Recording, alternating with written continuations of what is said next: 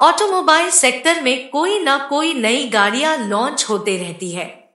इसी क्रम होंडा अपनी पहली mid size SUV Honda Elevate launch करने जा रही है। डॉट जल्द ही भारत में इसकी कीमतों का ऐलान किया जाएगा।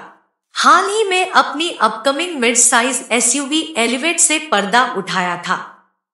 लॉन्च से पहले अब होंडा एलिवेट के लिए बुकिंग शुरू हो चुकी है। बात करें होंडा के इस धांसू कार के लुक और डिज़ाइन की तो इसमें black front grille all LED headlamp और फ्रंट बम्पर में एलईडी फॉग लैम्प दिए गए हैं। होंडा एलिवेट का फ्रंट फेशिया बॉक्सी डिज़ाइन को बनाए रखता है। इसके साइड प्रोफ़ाइल में व्हील आर्च और बॉडी क्लैडिंग मिलती है। इसके अलावा एसयूवी में 17 इंच के अलॉय व्हील दरवाजे पर लगे रियरव्यू मिरर और सिल्वर रूफ रेल्स देखने को मिलेंगे।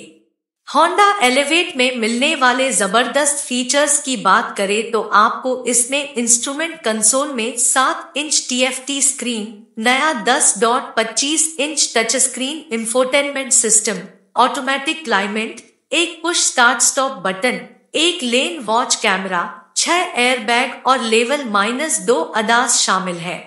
होंडा एलिवेट का मुकाबला Hyundai Creta Kia Seltos facelift Maruti Suzuki Grand Vitara Toyota Urban Cruiser Hyryder जैसी कारों से होगा। होंडा के इस धांसू कार में मिलने वाले दमदार इंजन की बात करें तो आपको इसमें एक दशमलव पाँच लीटर का चार cylinder naturally aspirated petrol engine लगा है। जो कि 121 bhp की मैक्सिमम पावर आउटपुट और 145 न्यूटन मीटर का पीक टॉप जनरेट करता है। इस एसयूवी में 6 स्पीड मैनुअल और 7 speed CVT automatic transmission option मिलते हैं।